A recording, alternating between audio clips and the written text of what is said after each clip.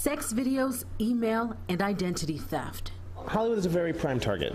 Today, U.S. Attorney Preet Bharara unveiled a bombshell case. Alonzo Knowles was arraigned tonight in federal court.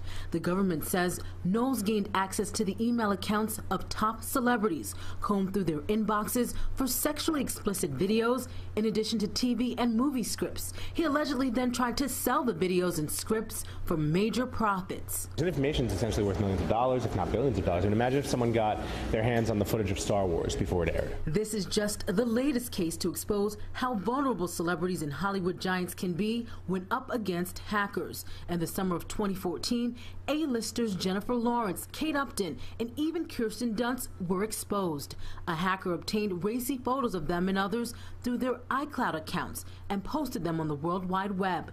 And months later, it was a major Hollywood studio under cyber attack.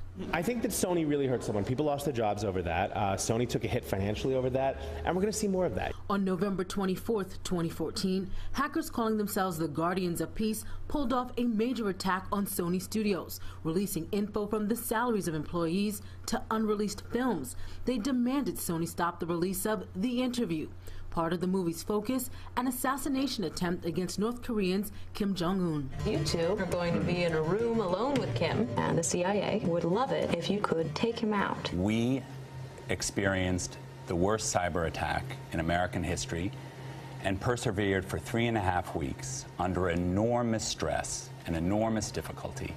We have persevered and we have not backed down. Sony eventually released the interview, and the FBI said North Korean sponsored hackers were likely to blame for the Sony breach.